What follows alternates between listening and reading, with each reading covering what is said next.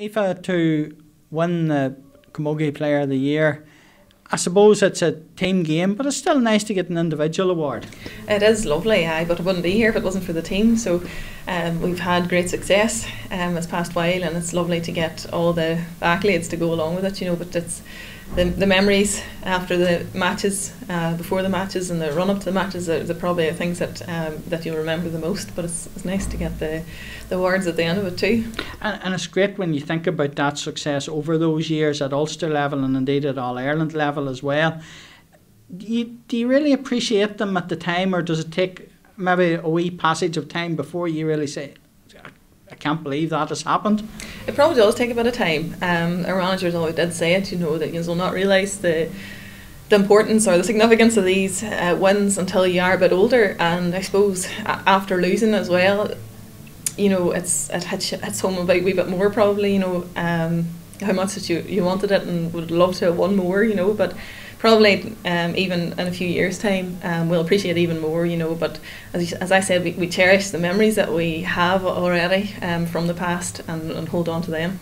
And I suppose the thing about it is, from six, seven years ago when you started in this journey, there's new players have come in how are they integrating into the thing and how much are they bringing to the team and helping it to evolve and improve? Well, it's that's the importance of um, every team, I suppose. The, the younger ones coming in and pushing older ones on and learning as they go along as well. Um, we, we're lucky at the minute, we have three teams in the club um, senior, intermediate, and junior team in the club. And it's trying to get the from that under 16 level, you know, to feed them on through up into the senior level and develop them as players. Um, and you know, I suppose it, it, as I say, it, if they develop as players, then that increases the whole overall level of the team, and it's vital, really is vital. So, I suppose just trying to encourage them. Um, it is a step up uh, for them when they do enter into that senior level and the standard that is, is expected of them. So it's trying to um, involve them, I suppose, and and uh, make them or buy into what what the whole senior team is about and the ethos and the setup and and encourage them along the way to do that. And I suppose you, as one of the more experienced players, are learning from them as well. I am absolutely. Um, in training, for example, like we're challenge, challenging each other all the time. Um, there's there's younger and they're fitter and faster players coming up all the time. So as you say, I, I'm learning from them, and hopefully they'll be learning from me as well. And the journey continues in 2022. There's a Derry title there to be won first maybe Ulster, maybe All Ireland. Those are the targets that keep you motivated and keep you going.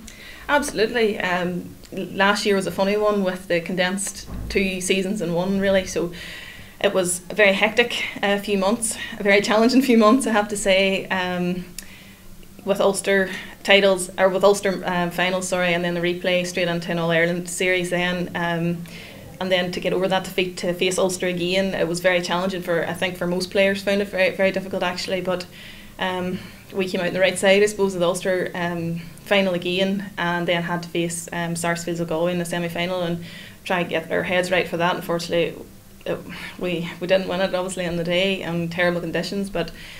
As you say, just looking again for next year, it'll be more of a normal year, hopefully, um, with the with the county first and then into the club and that. So so we'll get together as a, a group again. Um, you know, it's just a couple of weeks from we lost really. So we'll gather together again and um, set our sights um, on the challenge ahead and just hopefully pull together and everybody just aiming towards the same thing. As you say, integrating younger players again into the team and uh, setting new goals for the year ahead.